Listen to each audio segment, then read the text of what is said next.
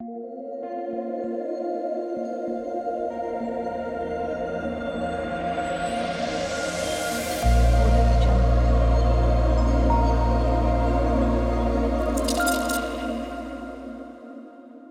आपने अगर हमारा चैनल अभी तक सब्सक्राइब नहीं किया है तो प्लीज़ प्लीज़ सब्सक्राइब कर ले और बगल वाले घंटे को भी दबा दें। क्योंकि हम लाते रहते हैं नए नए बिज़नेस आइडियाज़ और नई नई जानकारी केवल आपके लिए।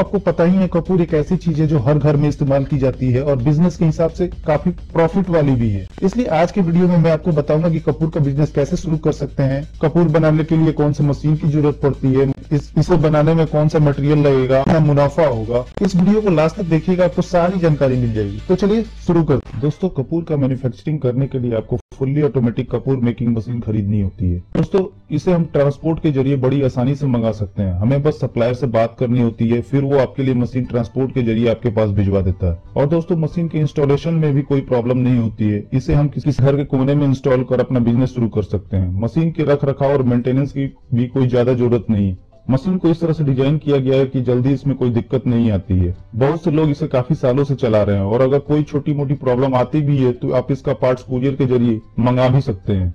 ये मशीन सिंगल फ़ेज़ से चलती है, इसका मतलब हम घर में जो इलेक्ट्रिसिटी यूज़ करते हैं, हम उसके ज़रिए भी इस मशीन को चला सकते हैं। और ये मशीन एक घंटे में 10 से 12 किलो कपूर का उत्पादन बड़ी आसानी से कर देती है। दोस्तों, कपूर बनाने के लिए हमें बाज़ार से कपूर की रॉ मटेरियल खरीदनी होती है, जिसे हम कपूर पाउडर या कम्फोर पाउडर कहते हैं। बाज़ार में भी यह पाउडर आसानी से उपलब्ध है। आप अपने नज़दीक के बाज़ार में जाके किसी भी किराना होलसेलर से अगर कम्फोर पाउडर के बारे में पूछेंगे, वो आपको इसकी जानकारी दे देगा।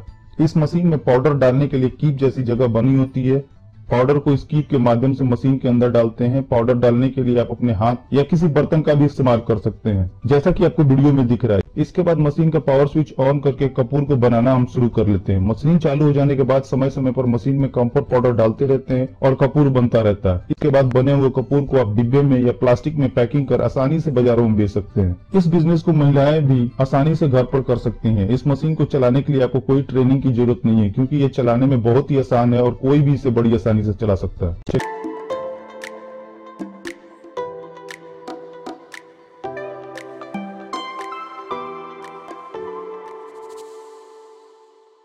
अगर आप हमारे चैनल को पहली बार देख रहे हैं तो हमारे चैनल को सब्सक्राइब कर लीजिए और बेल आइकन को भी दबा लीजिए। इससे हमारे चैनल पर जो भी वीडियो अपलोड किए जाएँगे, उसकी सूचना आपको मिल जाएगी।